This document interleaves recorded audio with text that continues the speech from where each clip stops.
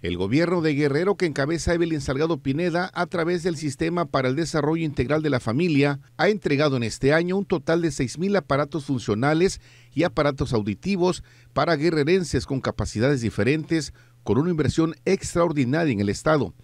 Mediante el programa Transformando Vidas del DIF estatal, se han beneficiado en este 2023 un total de 6.000 personas de diversas edades con aparatos funcionales como bastones, sillas de ruedas, muletas y aparatos auditivos.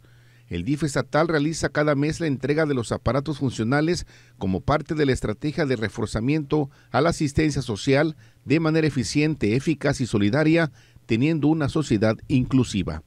RTG Noticias, Mar Horacio Ramos.